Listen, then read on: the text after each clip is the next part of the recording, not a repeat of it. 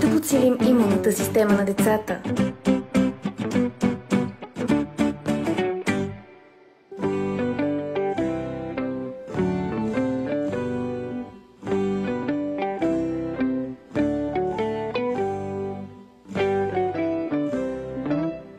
Здравословно хранене. Увеличете приема на плодове и зеленчуци.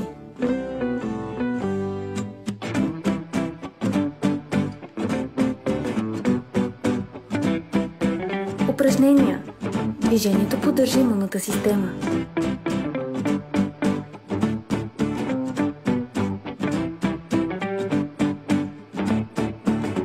Вода. Добрата хидратация спомага в борбата на детското тяло с грибните микроби.